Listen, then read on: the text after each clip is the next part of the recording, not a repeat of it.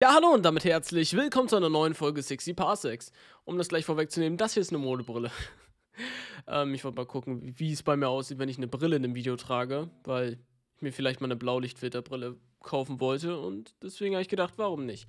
Ähm, wir spielen mal wieder 60 Parsecs. Eigentlich wollte ich heute ähm, Paint Town Red aufnehmen und Bigfoot, aber Nano ist krank geworden und deswegen müssen wir uns wohl mit 60 Parsecs zufrieden geben, was denke ich aber kein Problem ist, weil das Spiel auch ziemlich Spaß macht auf jeden Fall. So, ich würde sagen, ähm, wir äh, werden wieder, wieder den normalen Modus spielen. Wollen wir heute mal jemanden anderes als Captain nehmen, ist die Frage. Ich würde persönlich mal gerne, ähm, oh, gute Frage. Es ist eine gute Auswahl, sage ich mal. Es ist halt, 16 Parsecs hat man halt nur so Ted und Dolores und hier hat man, hm, ich denke, wir gehen hier einfach mal in der Reihenfolge durch, okay? Holen wir also sie. Guck mal, jetzt, jetzt spielen wir die, die wir in der letzten Folge komplett vergessen haben. ich denke, das ist auch mal ganz fair an der Stelle dann. Hm. Ich hoffe, wir kriegen am Anfang genug Loot. Wie, wie viele Tage haben wir in der letzten Folge überlebt? Ich glaube, ähm, 40? Irgendwas mit 40 war es, glaube ich. Okay, wir sollten uns mal wieder schnell, so schnell wie möglich umgucken, ob wir irgendwas Nices finden. Okay, ich würde sagen, hier fangen wir an. Hier haben wir eine Batterie und Emmet. Ich weiß nicht, ob wir gleich, beides gleich mitnehmen können. Aber nein, natürlich nicht. Oh, das ist ein ganz doofer Start an der Stelle. Das ist gar nicht gut. Okay, Essen. Essen ist wichtig. Keine Ahnung, wofür die Socke jetzt äh, gut ist. Aber ich denke mal für den mentalen Zustand oder so. Keine Ahnung. Äh, hier noch ein bisschen was mitnehmen. Das Teil nehmen wir mit. Äh, ein bisschen Panzertape. Oh Gott, Zeit vergeht so schnell. Es ist immer wieder so. Emmett, dich nehmen wir mit. Äh, oh, da kommen wir gar nicht. Oh Gott, das ist richtig kacke. Ich hasse den Raum da hinten. Kommt da super schlecht rein. Äh, können wir ihn mitnehmen? Nein, natürlich nicht. Der wiegt gefühlt 50 Kilo. Äh, 50? Hä? Das laber ich. 50 wäre voll wenig. Äh, der wiegt gefühlt 120 Kilo. Drei, drei Plätze. Der muss uns dann aber auch schon was gut bringen, ne? Also. Oh, nee, das riskiere ich nicht mehr. Oder, oder, oder, nee, da ist zu wenig in der Nähe. Ah, okay, ich denke, wir werden die Zeit hier abwarten. Und wir haben gar nicht mal so viel bekommen, habe ich das Gefühl. Ich glaube, das war gar nicht mal so gut. Und so explodiert mal wieder unser Raumschiff. Und wir, wir haben nur, nee, wir haben zwei Passagiere. Ich habe gerade gedacht, wir haben nur einen, ne? Ich war so, what? Aber nein, wir haben tatsächlich Emmett und, ähm, Baby hieß, glaube ich, der andere, ne? Baby und Emmett. Ich denke, wir haben eine starke. Also wir haben jemanden starkes, jemand schlaues und ich weiß nicht, ob die, die Kaffee trinkt, schnell ist. Ich glaube, das war ein, ein, schneller Charakter. Also an sich sind wir gut gebalanced, könnte man sagen. Aber ich, äh, ich weiß es nicht. Oder sind wir schon äh, auf dem Raumschiff angekommen? Äh, Baby Bronco hieß er, genau. Koffeinschub. Na super. So, mal gucken. Ist sie denn schnell? Das wird ich nicht gesagt. Okay. Zwei Suppen haben wir hier noch gefunden. Das ist gar nicht mal so schlecht. Und ich würde sagen, äh, wir müssen wieder eine Rede führen. Und ich hatte recht Schnelligkeit. Ich glaube, Schnelligkeit ist actually eine Sache, die am schlechtesten ist vorzutragen, weil bei Schlauheit, da kann man so sagen, ja, ich werde dieses Team anführen als ein sehr schlauer äh, Teamkamerad. Und bei Stärke kann man nichts sagen, ja, wir, wir, wir kriegen das hin und wir sind alle stark beieinander. Und bei Schnelligkeit ist halt so, äh, Leute, also wir müssen jetzt richtig damit. Deswegen, aber das kann die halt am besten und daher. Na gut. Von daher finde ich, ist das, glaube ich, ganz okay. So. Eine Ablandung über das Gerät. Ja, okay, okay. Also war aber okay die Rede, denke ich. Captain, es äußert, sich, äh, es äußert sich wichtig. Alle an Bord gut zu ernähren. Eine Portion köstlicher Dosensuppen reicht aus, um einen Menschen einige Tage lang zu ernähren. Ich bezweifle, dass wir hier im All andere nützliche Rationen finden werden. Deshalb ist es wichtig, genau darauf zu achten, wie viel noch im Lager ist. Zumindest, okay, also jetzt sollen wir jemanden gucken, der eine Routineüberprüfung macht. Ich denke, Emmett ist dafür ganz gut geeignet an der Stelle. Baby Bronco können wir halt fast nichts machen lassen, was halt alles andere außer Stärke enthält. Zwei Suppen gefunden. Ey, es, es läuft ganz gut. Und ich glaube, wir müssen sie nur alle acht oder zehn Tage füttern. Das weiß ich aber nicht mehr ganz. Das haben wir in der letzten Folge herausgefunden. Captain, du hast deine Mundhygiene vernachlässigt und deine Zähne viel zu lange nicht geputzt. Ich sage dir jetzt, der fiese Zahn muss raus, bevor die Sache noch schlimmer wird. Aber keine Sorge, es tut nur ganz kurz äh, weh. Und vielleicht darfst du dir zur Belohnung auch etwas aus der Spielzeugbox nehmen. Wie es, wie es das Protokoll vorsieht, wurden die nötigen Werkzeuge automatisch ausgegeben. Ein Stück Faden und eine Flasche. Narconitum, äh, Narconitum nehme ich an. Auf der Flasche ist das Astro-Bürger-Logo und jemand hat Natonikum per Hand darauf geschrieben. Brauchst du einen Assistenten für die Prozedur? Ich würde jetzt sagen, Baby Bronco kann den Zahn halt so mega rausziehen. Aber ich weiß, ich glaube, ich würde das lieber Emmet machen lassen. Ich glaube, der geht damit ein bisschen mehr Feingefühl ran als Baby Bronco. Nichts gegen dich, Baby Bronco, okay? Nichts gegen dich. Ich habe ich hab nichts gegen den Jungen. Ist Baby Bronco wirklich so dumm, wie er ist? Das werden wir wahrscheinlich heute rausfinden. Vielleicht ist er auch mega schlau, aber einfach nur schüchtern, wer weiß, ne? Captain, ich habe gute und schlechte Nachrichten. Die gute ist, dass die Luftschleuse erfolgreich als Weltraumtoilette verwendet werden kann. Sie ist nun voll und kann in den Weltraum entleert werden. Die schlechte Nachricht ist, dass die Schleusenklappe blockiert ist und wenn sie nicht bald repariert, äh, wenn du die nicht bald reparierst, wird unsere verstopfte Toilette schnell zur Vernichtung der Menschheit führen. Jetzt oder nie, Captain? Okay, ja dann. Dann werde ich mal wo die Toilette reparieren. Das ist, denke ich, ähm, das ist super. Ich weiß nicht, was ich davon halten soll. So, das Klebeband hat uns gerettet. Oh, Captain, es scheint da ein Fehler, Fehler. Ich bin kaputt, bitte repariere mich. Systemfehler. Ah, Gott, handeln. Ah, oh Gott, bitte, Captain, tu etwas. Tu etwas. Ähm, intelligent. Oh, das ist halt kacke. Wir haben so selten irgendwas mit Schnelligkeit bisher gehabt. Das ist eigentlich voll unnütz, der Charakter. Kann das sein? haben wir es geschafft? Guten Morgen, Captain. Okay. Es geht also noch. Captain, das ist erstaunlich. Die Scanner haben einen Behälter aufgeschüttet, der in unserer Nähe durch den Weltraum schwebt. Was da wohl drin ist? Was nun, Captain? Sollen wir versuchen... Ja, warum nicht, ne? Kann natürlich jetzt auch sehr viel schief gehen, ne? Ich weiß es nicht. Kann jetzt auch richtig kacke sein. Aber das werden wir herausfinden dann. Oh Mann, die hungern alle schon mega. Okay. An Bord. 3, 2, 1, sieh doch mal. Es ist etwas im Behälter, ein Licht, es blinkt. Und da piept was. Oh no. Oh Gott. Tja, das äh, war wohl eine Bombe. oh, du hast dein Hologramm-Schachbrett an Bord gefunden. Wie du hast noch nie etwas von Hologrammschach gehört. Okay, das kennen wir schon. Äh, da gehen wir jetzt mit Schnelligkeit vor, weil immer mit den Stärken bei Schach spielen, okay? Warte mal, am Verhungern, am Verhungern.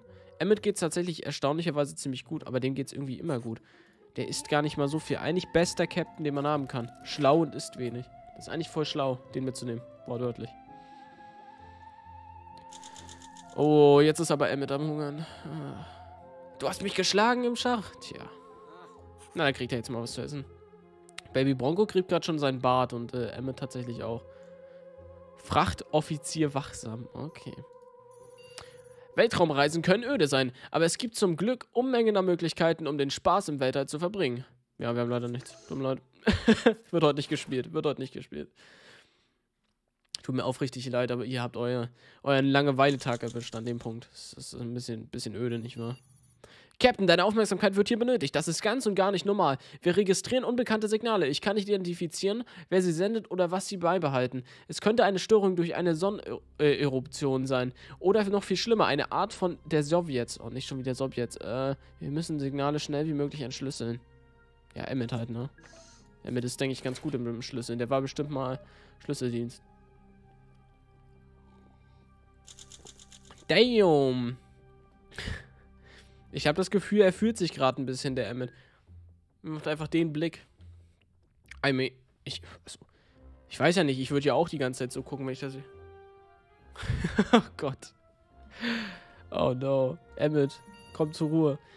Also, diese Nacht beginnt gerade. Interessant zu werden. Achso, in, interessant zu werden. Du wirst von einem Albtraum geweckt, während deine Augen sich an die Dunkelheit gewöhnen. Bemerkst du plötzlich, dass du nicht allein bist. Du erkennst eine Gestalt in dem Schatten. Ja, kann ich leider nichts machen gegen. Dann sagt der Gestalt einmal Hallo und dann gehst du wieder ins Bett. Hallo. Tag 11. Es ist tatsächlich schon wieder... Es ist tatsächlich schon wieder ein bisschen am Hungern, sind die beiden. Ich will mal gucken, warte mal. Also müssen die alle sieben Tage oder, oder sechs... Sechs Tage wahrscheinlich, ne? Hm. Die können doch noch einen Tag aushalten. Ich habe einen Fehler in meinem System, Captain. Ich habe keine Ahnung, wer meinen Code verändert hat, aber die Konse Konsequenzen können verheerend sein. Du musst meine Gehäuse hinten öffnen und Notfallreparaturen durchführen. Oh ja, müssen wir halt Schnelligkeit machen. Oh, das ist so unnütz. Oh, Schnelligkeit zackt richtig bei solchen Aufgaben, weil wir werden richtig alles kaputt machen, wenn wir zu schnell handeln. Das ist ja richtig kacke. Oh Gott. Ähm, die halten noch einen Tag durch, denke ich. Schätze ich mal.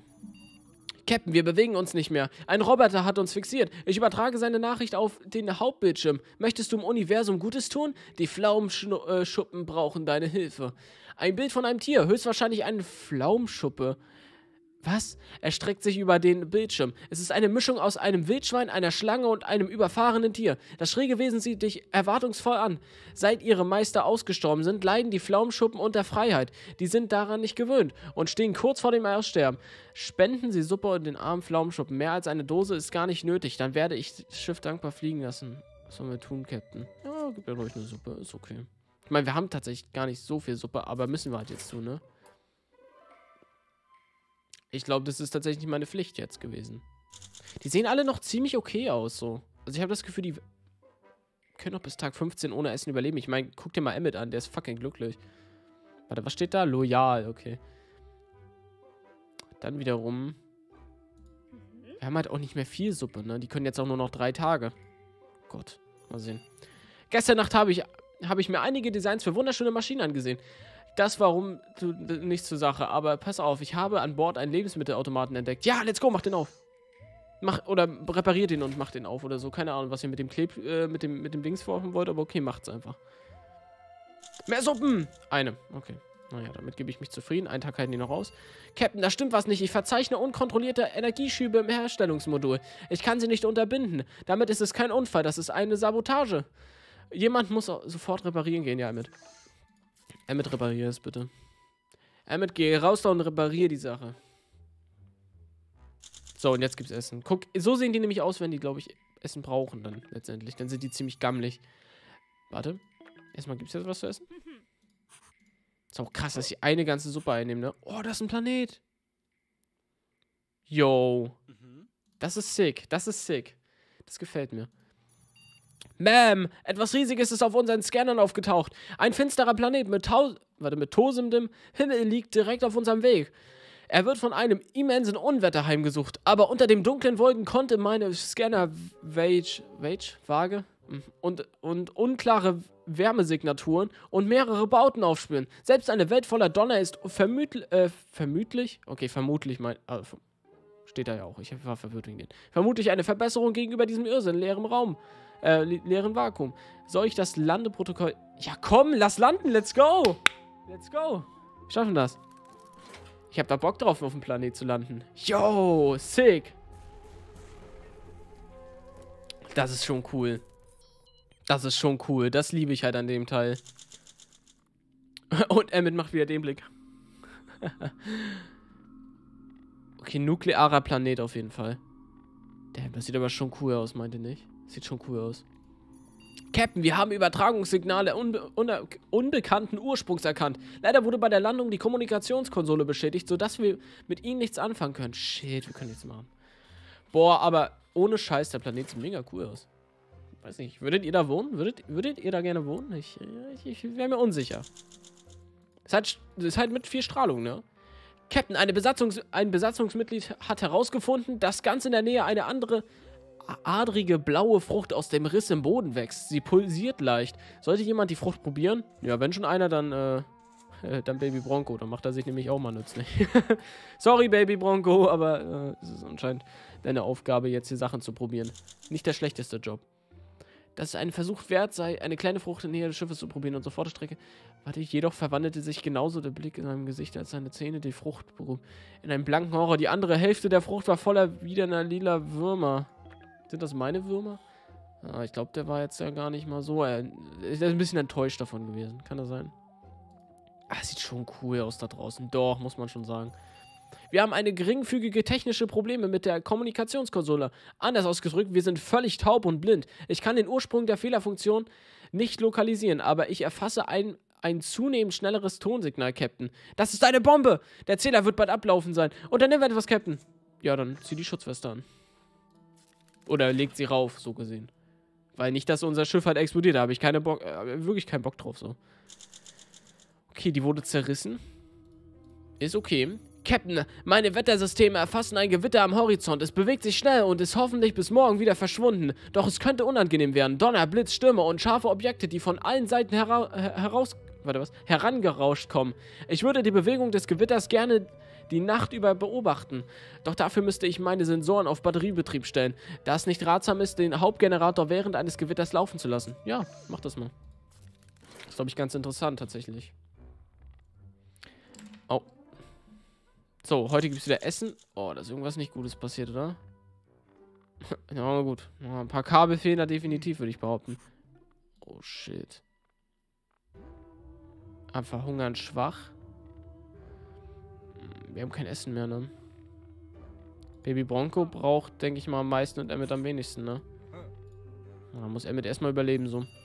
Wir empfangen ein Signal, Ma'am. Es hört sich an wie eine, eine schmierige, freie, freie Version des Morse-Codes an. Das Signal wird schwächer, Captain. Möchtest du noch schnell was... Ja, können wir halt nicht, ne? Ist schwierig. Ich hoffe, Emmet geht nicht drauf, ne? Aber der kann eigentlich immer am längsten überleben ohne Essen.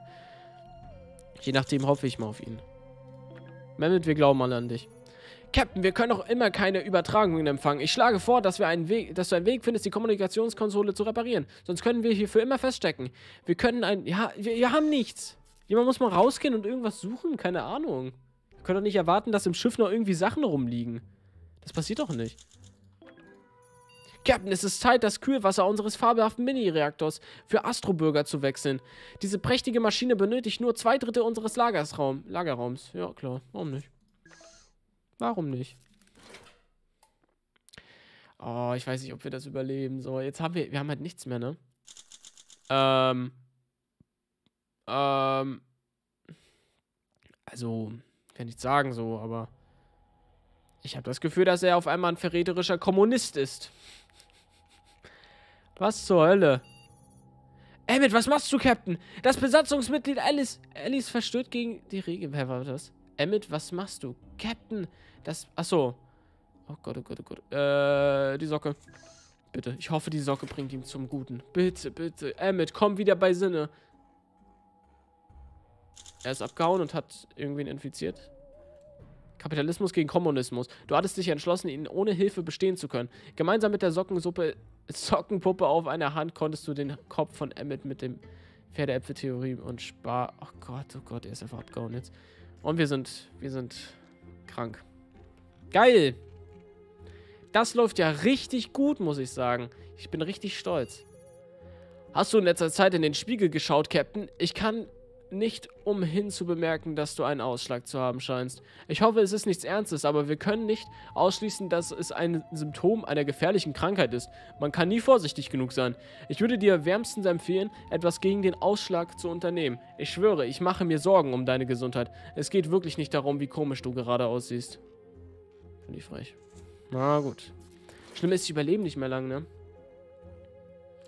Die überleben halt nicht mehr lange brauchen halt unbedingt Essen. Oh, wir können nichts machen. Captain, das Kommunikationsmodul ist immer noch kaputt. Somit sind wir absolut taub, wenn nicht, sogar, wenn nicht sogar blind. Ja, aber wir können ja nichts tun. Was soll ich machen? Sag mir doch, was ich machen soll. Das zu das. Irgendwie ist schon wieder...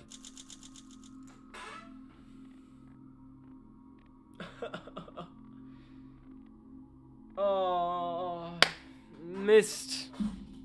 Das ist scheiße gelaufen. Das ist richtig scheiße geworden. Also das war gar nicht gut. Absolut nicht. Gestorben. Nur 26 Tage überlebt. Cool. Das war tatsächlich gar nicht mal so erfolgreich, muss ich sagen. Also wirklich nicht erfolgreich. Aber na gut, ähm, dann würde ich sagen, das war wohl jetzt heute mal eine ziemlich kürzere Folge. Das war nicht geplant oder so. Ich meine, wie soll ich sowas durchplanen? Aber auf jeden Fall, ich sag's euch, nächstes Mal, wenn wir auf einem Planeten landen, dann werde ich Baby Bronco rausschicken und der soll jede Suppe mitnehmen, die er findet, okay? Wenn das eine Möglichkeit ist, aber auch nur. Aber na gut, ich würde auf jeden Fall sagen, ähm, das nächste Mal werden wir definitiv länger überleben. Jetzt weiß ich ja, dass wir schon mal den Captain nicht mehr nehmen. Ich weiß nicht, Ellie hieß sie, glaube ich. Ellie werden wir nicht mehr nehmen. Wir nehmen das nächste Mal wieder Emmett, denke ich, oder wir machen halt chronologisch weiter mit den anderen Charakteren, wenn man das chronologisch nennen darf. Ähm, ja, und ich würde sagen, äh, lasst eine Bewertung da. Habt noch einen wunderschönen Tag und macht nicht den gleichen Fehler wie ich und verreckt auf einem super unbekannten Planeten, der nuklear befüllt ist. ciao, ciao.